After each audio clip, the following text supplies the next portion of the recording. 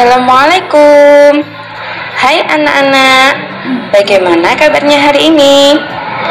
Semoga kalian selalu dalam keadaan sehat Dan selalu semangat dalam mengikuti pembelajaran daring.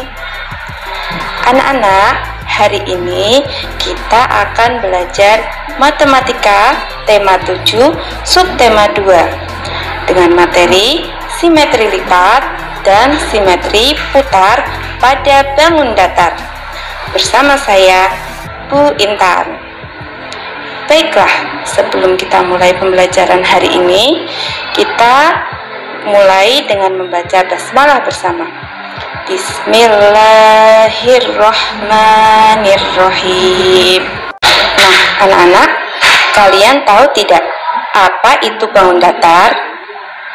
Bangun datar adalah bangun yang terdiri atas panjang dan lebar.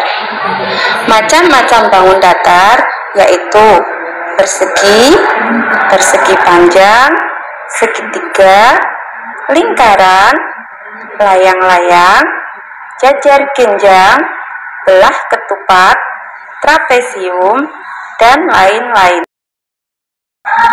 Selanjutnya, apa itu simetri lipat? Iya, simetri lipat adalah jumlah lipatan yang dapat dibentuk oleh suatu bangun datar menjadi dua bagian yang sama besar. Baiklah, untuk lebih jelasnya, simak video berikut ya. Eh, anak-anak, uh, kita akan mencoba untuk menghitung banyaknya simetri lipat pada bangun datar uh, sebelumnya bangun datar itu yang mempunyai simetri lipat itu mempunyai ciri-ciri. Yang pertama bangun datar dapat dilipat menjadi dua bagian yang sama besar. Kemudian yang kedua lipatan bangun datar saling menutupi dengan tepat. Dan yang ketiga bangun datar memiliki sumbu simetri. Uh, itu bisa kalian lihat di LKS tema 7 halaman 37 yang pertama kita akan mencoba melipat bangun datar yang berbentuk persegi ya. Kita akan mencoba ini harus saling menutup rapat ya. Nah ini satu. Kemudian dua. Kita empat kita juga bisa miring. Tiga. Empat. Nah ini ya. Jadi lipatannya itu persegi bisa dibuat menjadi empat lipatan ya. Nah ini ada garis-garis lipatan bekas lipatan. Ini yang dinamakan sumbu simetri ya. Ini biar lebih jelasnya. Akan digambar atau digaris. Ya. Satu.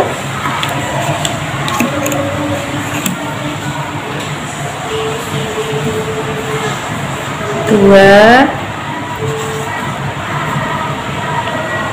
tiga.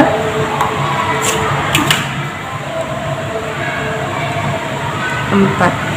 Nah, inilah yang dinamakan sumbu simetri ya atau bekas lipatan ini. Ada empat untuk persegi. Selanjutnya ini adalah bangun datar persegi panjang. Untuk persegi panjang coba kita akan melipatnya. Ini lipatan yang pertama saling menutup kemudian lipatan yang kedua. Ya ini saling menutup. Kalau miring bagaimana? Ternyata tidak bisa ya. Ini tidak bisa ya. Jadi untuk persegi panjang hanya memiliki dua simetri lipat. Ini garis sumbu simetrinya atau garis yang membagi lipatan tersebut ya. Ada satu dua. Selanjutnya ada segitiga sama kaki. Ya ini segitiga sama kaki kenapa? Karena dua sisinya ini panjangnya sama ya. Ini mempunyai satu simetri lipat karena hanya bisa dilipat sekali. Kalau dari sini tidak bisa dari sini juga tidak bisa menutup ya. Nah ini sumbu simetrinya ada di tengah-tengah akan menggariskan sumbu simetrinya. Ya. Ya satu sumbu simetrinya. Selanjutnya ada segitiga siku-siku. Kenapa segitiga siku-siku? Karena salah satu sudutnya berbentuk siku-siku yaitu 90 derajat. Nah coba kita lipat dari salah satu sudutnya. Ternyata tidak menutup rapat ya. Nah dari sini coba tidak bisa juga. Dari sini? Ya tidak bisa. Berarti segitiga siku-siku ini tidak mempunyai simetri lipat. Kemudian selanjutnya ada bangun datar trapesium sama kaki. Kenapa sama kaki? Karena dua sisinya ini mempunyai panjang yang sama ya. Nah coba kita lipat. Nah ini satu lipatan dari atas ternyata tidak bisa menutup dari samping juga tidak bisa. Dari sini juga tidak bisa. Berarti trapesium sama kaki hanya memiliki satu simetri lipat.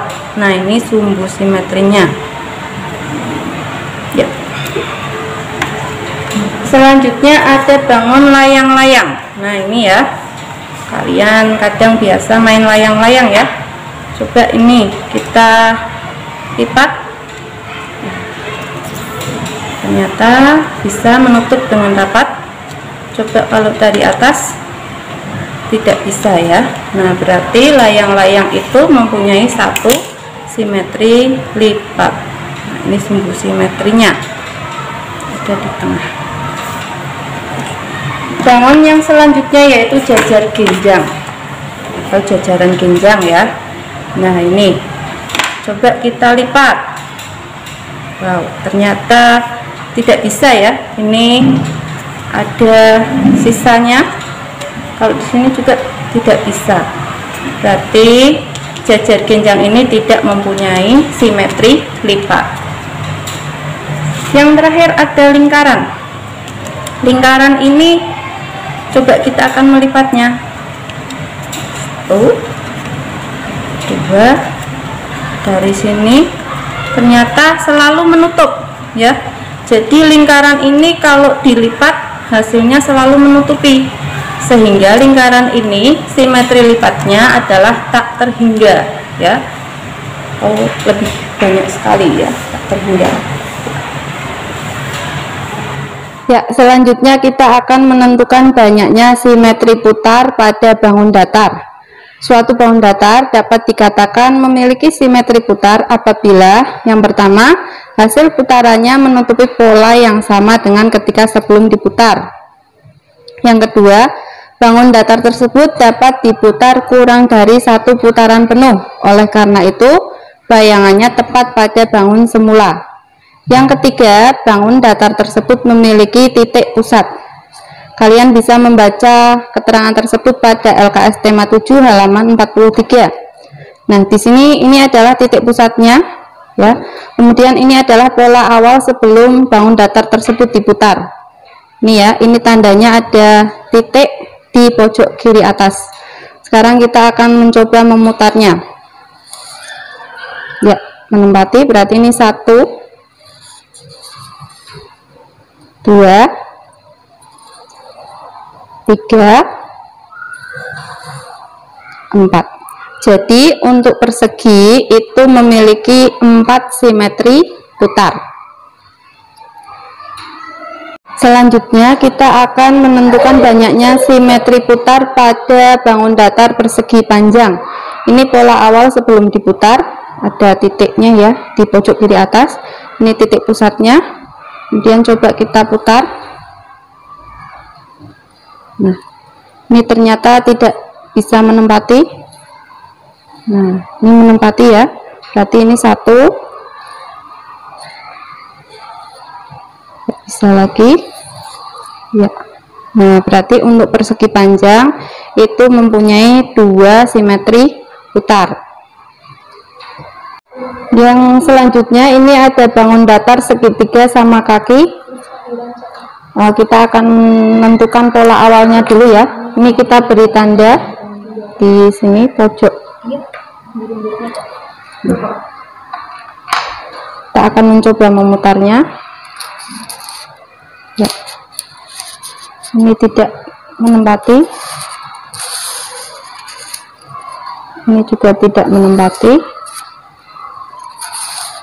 menempati sampai kembali pada posisi semula jadi bisa dikatakan bahwa segitiga sama kaki itu tidak memiliki simetri putar. Ya, untuk selanjutnya ini kita akan menghitung banyaknya simetri putar pada segitiga siku-siku. Ini pola awalnya ya. Kita akan menghitung searah jarum jam. nah tidak menempati. Ini juga tidak menempati. Tidak menempati. Sampai kembali pada posisi awal. Jadi untuk segitiga sama eh, maaf untuk segitiga siku-siku itu tidak memiliki simetri putar Ya, untuk yang selanjutnya kita akan menentukan banyaknya simetri putar pada trapesium sama kaki, ya. Ini pola awalnya. Sini titiknya. Yang pertama ini putaran yang pertama tidak menempati. Ini juga tidak bisa menutup. Kemudian ini juga tidak bisa menutup sampai kembali pada posisi awal. Jadi bisa dikatakan kalau trapesium sama kaki itu tidak memiliki simetri putar. Nah, ini selanjutnya kita akan menentukan banyaknya simetri putar bangun jajar genjang. Ya, ini pola awal sebelum kita putar. Kita akan mencoba putar. Ini, ini tidak menutup ya. Nah, ini ternyata bisa menutup ya nah satu.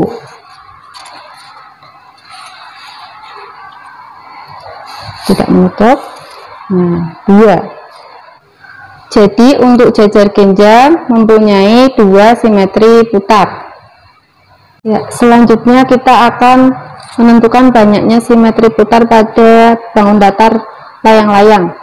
Ini adalah pola awal.